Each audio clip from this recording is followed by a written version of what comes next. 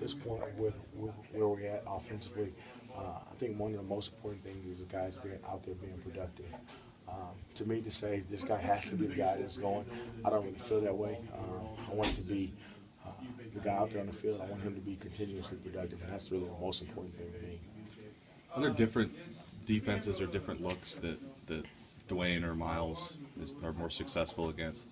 Um, I wouldn't necessarily say there's different defenses or defensive looks. I think there's, uh, you know, their style is so different. Um, you know, Dwayne being more of kind of your long strider guy, uh, and Myles being more your kind of scat back who can, you know, make has great feet, great vision, and can make guys miss in, in a small space. I think that's really the big thing. I think uh, when it came to the past couple weeks, you know, we played Cal the week before. It was just some big gaping holes where Dwayne was able to kind of open up a little bit.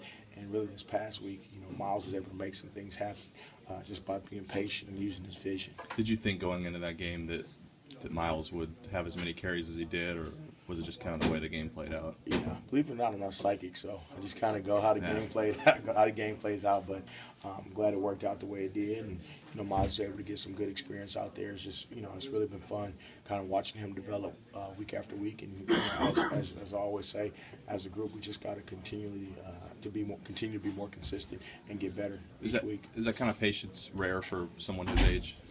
Uh, no, I don't think it's necessarily rare for someone his age. I think we've seen it, uh, you know, when we were, when we were recruiting him. But I think uh, the level, his level of maturity, and how he's handled being able to play as a true freshman, uh, the game hasn't been too big for him. I think the first game was the only game where you can kind of sense he was a little, had a little bit of anxiety. But outside of that, I think that's the most impressive thing is uh, how mature he is and how well, how much he can handle when the game is going on.